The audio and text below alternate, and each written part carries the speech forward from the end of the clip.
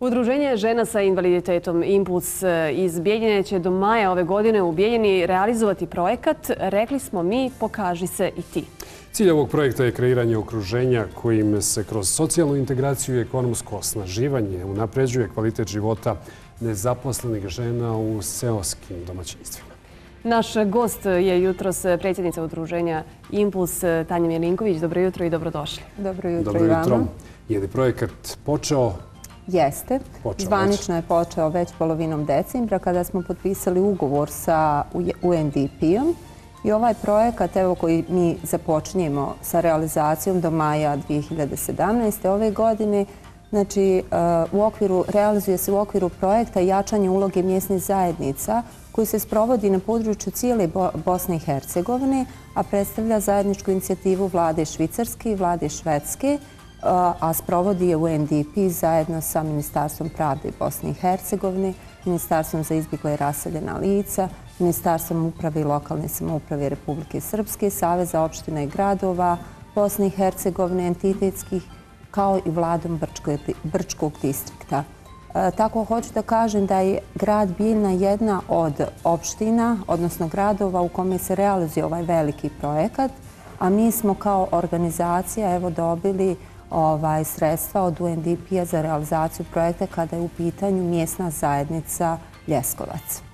I na koji način ćete vi upotrebiti e, ta sredstva? Dakle, cilj je unapređenje kvaliteta života nezaposlenih žena u ruralnim zajednicama. Kako ćete vi unapređiti kvalitet Pa jedan od načina, obzirom da je udruženje već prepoznato u našem gradu kao značajan resurs kada je u pitanju izrada rukotvorina, odnosno ručno tkanje, a također i ručna izrada nakita. Znači, već dugi niz godina smo mi u tome prepoznati i ovaj dosta, kako da kažem, korisnica na stotine je prošlo obuku kroz naše udruženje, a od maja već 2015. imamo zvanično centar za obuku izradi kućne radinosti i upravo u okviru tog centra naše koji se nalazi u prostorijama udruženja, koji je u potpunosti opremljen sa opremom, gdje imamo iskusne i vješte žene za prenošenje znanja kada je u pitanju ručno tkanje, a jedan segment projekta se upravo odnosi na obuku u oblasti e, ručnog tkanja e, žena nezaposlenih iz mjesne zajednice Ljeskovac.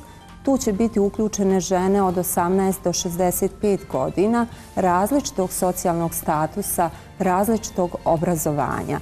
I znači, e, okvirno zamišljeno je da 16 žena prolazi ručno tkanje, a 14 ručnu izradu nakita. S tim da ovu grupu od 14 žena, odnosno djevojaka, e, čini 8 žena koje već prolaze ručno tkanje, tako da će njih 8 imati priliku da prođu obuku, naravno prema njihovom interesovanju, i ručno tkanje i ručnu izradu nakita a šest žena su žene koje nisu uopšte uključene u ručno tkanje. E sad ja pretpostavljam da je njima zadovoljstvo da pokažu to što su naučili, to što su radile i naravno prvo pokažu svojim najbližim ko će biti prilike da pokažu i široj zajednici.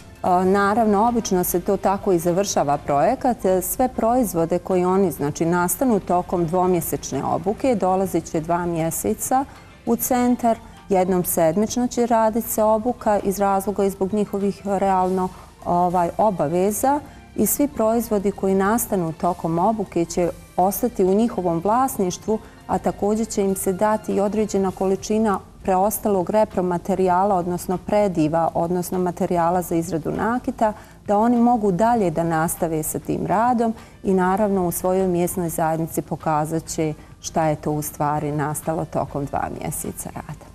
U našem gradu često imamo bazare rukotvorina, ali i mi propratimo uvijek sve, ali slobodno možemo reći da su vaši zaista nekako, da izgledaju ti radovi, odnosno te rukotvorine nekako najprofesionalnije. I vi imate stručnjake koji su e, zaista profesionalci u svom poslu i to su ljudi koji e, znaju da prenesu znanje kada je riječ o tkanju i, i, i izradi e, nakita. Pa hvala Ivana prije svega na tim svim ovaj, pohvalama koje nam stvarno daju jako lijep vjetar u leđa i naravno vaše praćenje tokom dugog niza godina nam daje podršku veliku i evo prosto jednostavno formula za to jeste istrajnost, trud i rad i kontinuitet u radu.